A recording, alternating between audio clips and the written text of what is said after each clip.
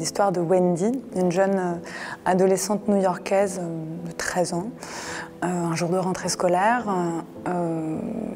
voilà, ce sont les premières pages. Et les, attentats du 11 septembre surviennent dans, voilà, dans la matinée très vite. Donc Wendy, dans les premières pages du roman, perd sa maman. En tout cas, euh, elle disparaît. Parce que c'est ça aussi la difficulté euh, euh, de, des attentats et de ce genre de disparition, c'est qu'il n'y a pas de corps et que donc il y a toujours l'espoir de, trouver quelqu'un, un survivant dans, les décombres. Donc tout le début du roman, c'est Wendy, son beau-père, euh, qui l'a quasiment élevé, et, euh, son petit frère, enfin son demi-frère. Euh, c'est leur histoire à tous les trois qui doivent réaliser ce qui s'est passé, qui doivent se. L'information, quelque part, doit monter, doit un petit peu se faire imprimer dans leur cerveau. Et et, en parallèle, ce sont les, souvenirs de Wendy, son enfance, sa petite enfance seule avec sa mère, les souvenirs bons, les souvenirs moins bons, parce qu'on parce qu'on n'a pas que des souvenirs heureux, euh, les anecdotes euh, qui lui font mal, parce qu'elle a dit à sa maman, en bonne adolescente, elles se sont disputées, elle lui a dit des choses horribles, évidemment, mais c'est fréquent. Mais là, tout de suite, ça prend une autre dimension. Et, donc la première partie du roman, c'est vraiment toute, toute, une étape où on découvre Wendy, on découvre cette famille, on découvre cette famille euh, atypique, où la musique a une grande importance, où la culture en général, euh, une famille très riche enfin, d'émotions, de, de, de, sentiments, et, Wendy qui, bah, qui patauge bien sûr euh, dans cet après.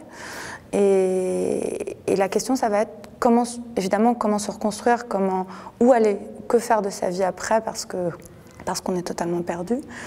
Et, on va dire qu'une réponse va venir par, euh, par un voyage à l'autre bout du pays, en Californie, où elle va aller euh, chez, euh, chez son père biologique, en fait, mais qu'elle connaît quasiment pas, qu'elle n'a pas vu depuis dix ans.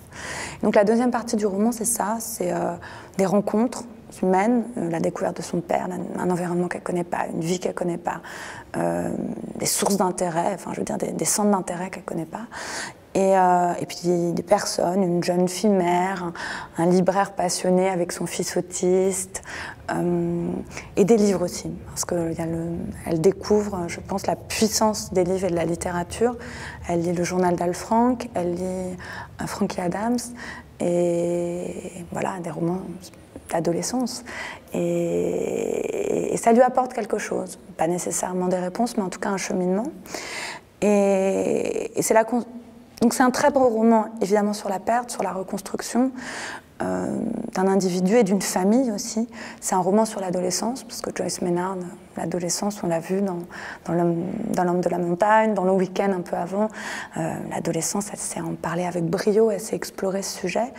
Et c'est un roman sur la famille, euh, sur les familles, sur toutes les possibilités euh, de rapports familiaux, sur les familles qu'on se crée de toutes pièces, sans lien sanguin, où c'est juste euh, voilà, l'amour qui fait qu'on crée une histoire et, et, que ben, un, beau-père, en l'occurrence dans ce texte, c'est comme son père, c'est différent, mais c'est une, une, relation très forte et je trouve que c'est quelque chose qu'on n'a pas si souvent en littérature, ces, ces relations-là. Et, et, sur, euh, et comme d'habitude, Joyce Ménard, c'est euh, voilà, vous raconter une histoire, parce que c'est vraiment là sa grande force. C'est incarner des personnages, des émotions, des sentiments, euh, et, et, vous emporter de la première page à la quasiment 400e, ou je ne sais plus, mais en tout cas de vous emporter de la première à la dernière en, en vraiment vous en vous faisant ressentir beaucoup de choses, en vous, en vous, attacher à des personnages, vous identifier peut-être, vous faire réfléchir. Mais en tout cas, c'est vraiment cette, euh, cette, puissance narrative et évocatrice qui, euh, la, voilà, qui qualifie mieux.